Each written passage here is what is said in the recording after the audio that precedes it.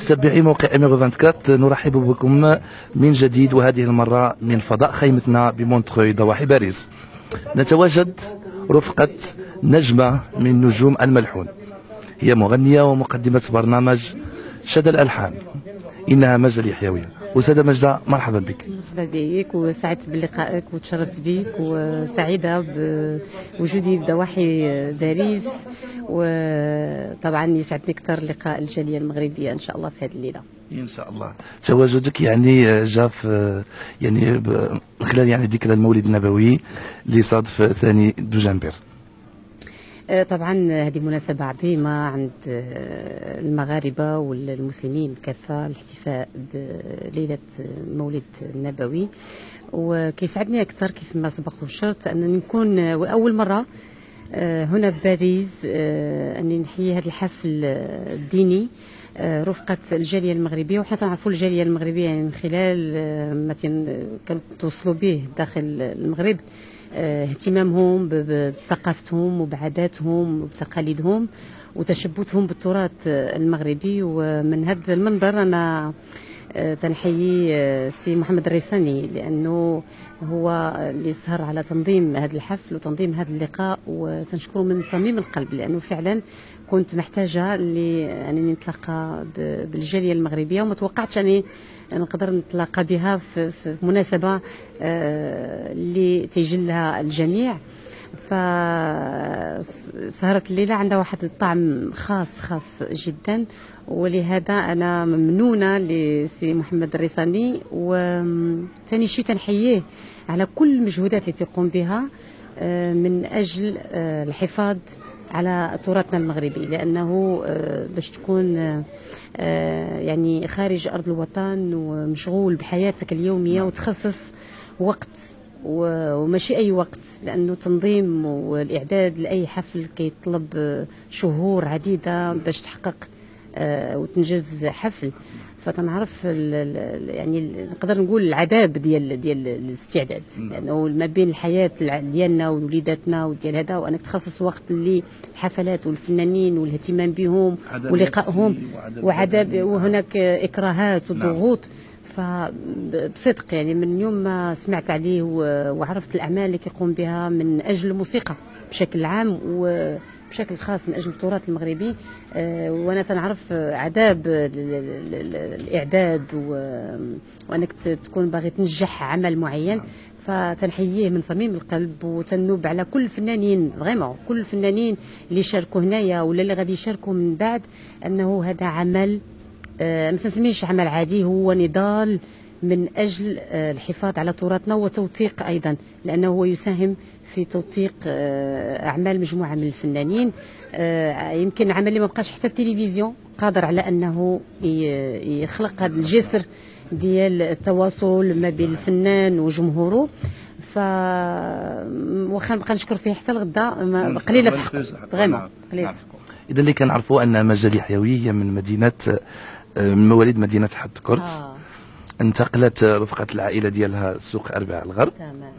ومن ثم مشات لمدينة الخميسات. آه الخميسات. من بعد أنا هذا هو اللي الحقيقة اللي أنا كيسولوني منين أنت كنقول لهم أنا مغربية آه قحة. علاش؟ لأنه عشت في الغرب وعشت مع الشلوح وعشت آه ورجعت لسوق الأربع من بعد من بعد طلعت القنيطرة. طلعت للدار البيضاء ورجعت للقنيطره فتنقلت بواحد الشكل وكانت تعطى لي في الشمال قصر الكبير ازيلا الحرائش. هادو هادو مدن كلهم اللي أثروا من من يعني من محاسن الصدف انه كانوا بزاف الناس اللي اعتبرني شلحة وكاين اللي اعتبرني وجدية وكاين اللي اعتبرني شمالية. يعني كل واحد تماما. وهذا تيشرفني. حد كورت آه، خرجت منه كانت في عمري شي 11 عام تقريبا.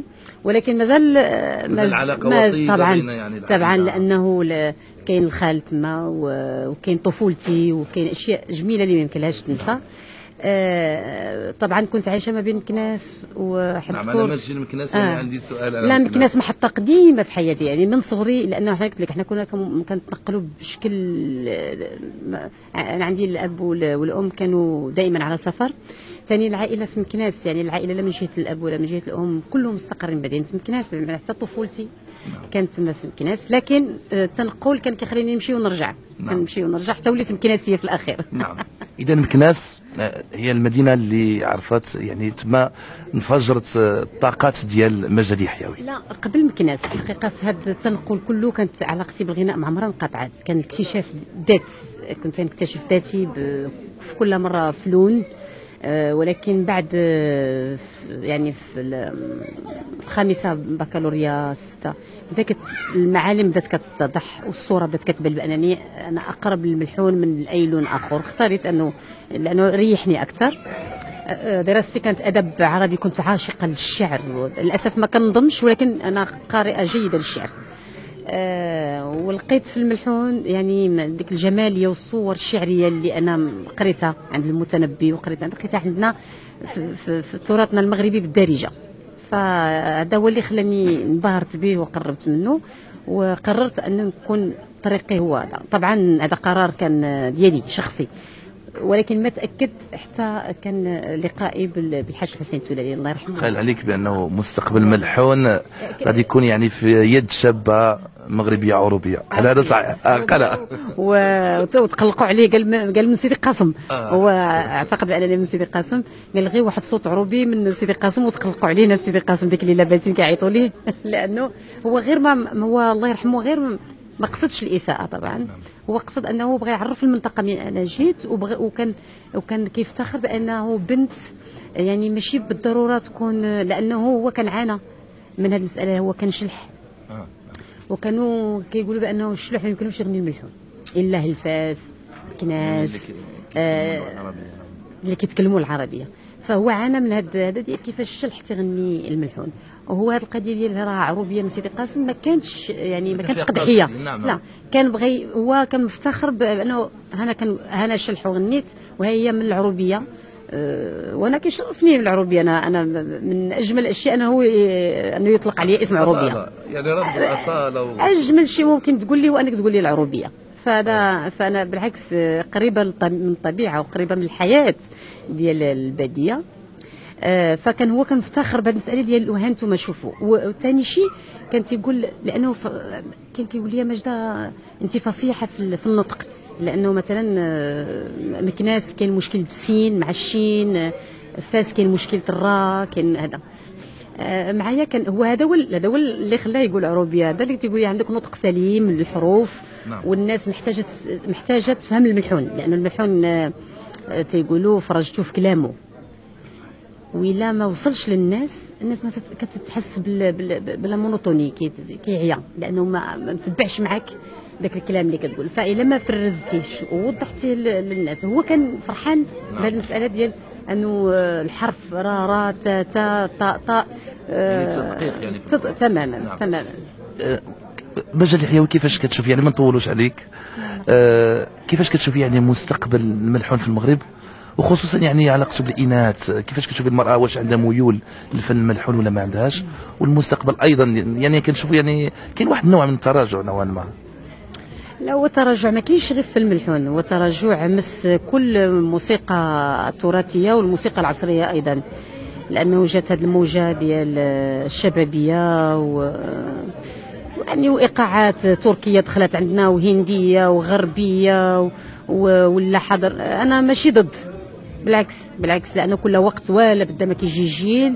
تيجيب يحمل مع جديده الجديد بالعكس. كاين أصوات جميلة وكاين أعمال جميلة رغم انها متشابهة بزاف في الايقاعات ديالها ولكن جميل أنه يكون عندنا ما اللي كنعيبوا عليه هو أنه آه، ال- ال- الاعلام غالبية ديال الإعلام ولات مسلطه الضوء على هذا الشيء الجديد ورخات من من من أصولها رخات من تراثها رخات من الرواد ديالها. يعني ما ما, ما بقاتش عطيهم ذاك الاعتبار اللي كان عندهم في واحد الفترة. ألوغ بامكانها أنه في خريطة البرامج ديالها تخصص برنامج شبابي وهذا وتخصص برنامج كلاسيكي للموسيقى للناس اللي باغا تذوق. فللأسف إحنا عندنا مشكلة تخطيط فقط. عندنا موسيقيين عندنا فنانين عندنا عازفين ممتازين عندنا شعراء عندنا ملحنين. ولكن هذه المسألة ديال أنه آه هذا القطاع يتخدم بهذا الشكل ويتقدم لنا ما ما, ما بقاش. آه، تبعنا ولا داك الشيء كوميرسيال تجاري آه، لا أنتم شرفتوا هذوك شرفوا ما كاينش الفن هذا شرف.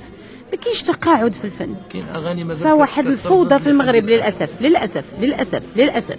صار عليها واحد الكميشه الناس قلال.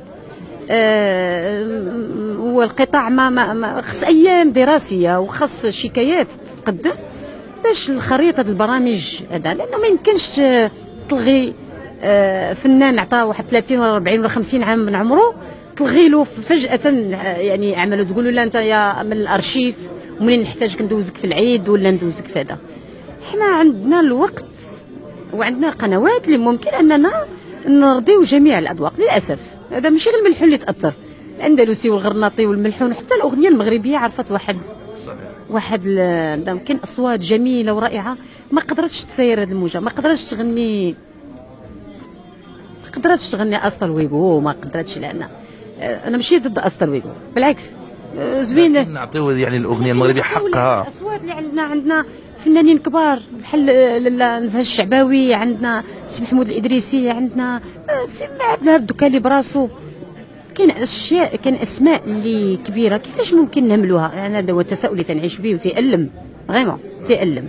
آه اليوم آه اللي قايم بالدور شوية اللي محرك الحركة الفنية فيما يخص التراث والألوان هذه الألوان الأصيلة. هناك جمعيات اللي كت كتشتغل على على هذا النوع من من الألوان من الموسيقية. وتنحييها من هذا المنبر لأنهم فعلا تقوموا بواحد العمل آه، جميل آه، واحد الحركه كاينة حركية فنية وثقافية في المغرب بفضلهم هما. التلفزيون الله يهديه. مازال أنا قلت لك مازال عندهم هما عندهم شوفة أخرى شوفة أخرى. أنا ماشي ضد الشوفة ديالهم أنا تنكررها. ماشي ضد الشوفة ديالهم ولكن شوف القنوات للمصريين ولا ما فرطوش في ما ما ضيعوش الفنانين ديالهم. بالعكس مستغلينهم لآخر يوم في حياتهم. تيبقاو مستغلينهم. ما يمكنش اليوم تقول محمد بجدوب سير سير تقاعد ما يمكنش تقول آه، لأنه حتى اضطروا الناس. دابا اليوم كيخدموا كاين فنانين اضطروا يرجعوا يخدموا في الأعراس ويخدموا في دي ريستورون ومتنفس كبير للفنان.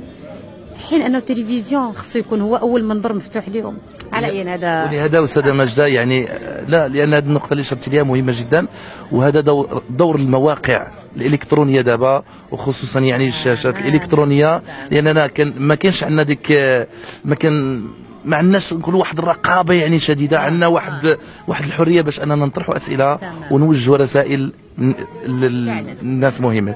اذا نخليو ماجده واحد الكلمة أخيرة للجمهور خصوصا الجاليه المغربية المقيمه بالخارج.